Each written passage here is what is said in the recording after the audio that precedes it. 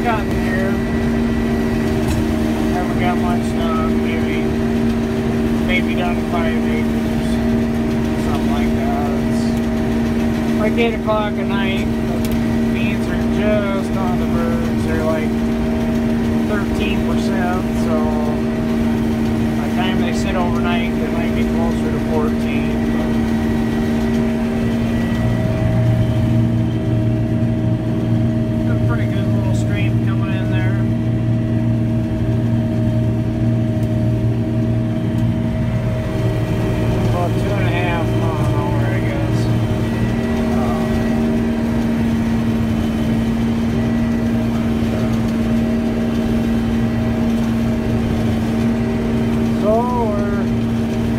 getting started. It's looking like it's going to be a pain in the butt on beans this year.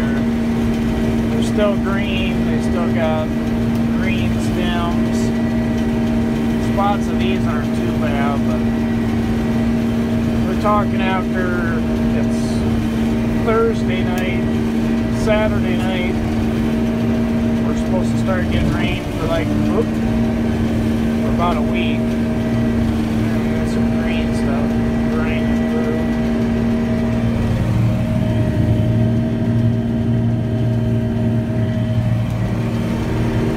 down a little.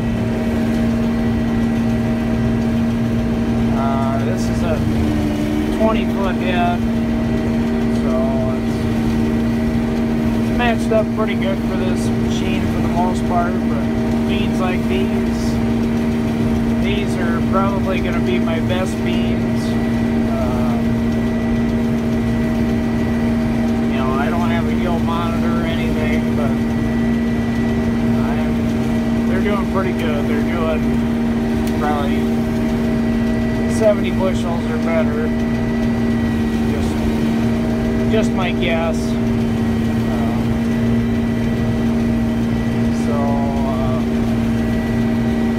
so for 20 foot of that coming into a 6620, don't want to go too fast. Uh,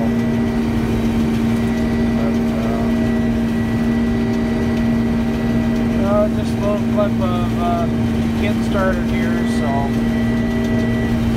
hoping tomorrow is a better day. We had a lot of fog this morning, so that and it was we had an inch of rain before that, or like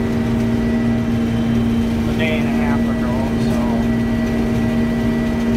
So really slowed stuff up. But uh, these these beans have had some wind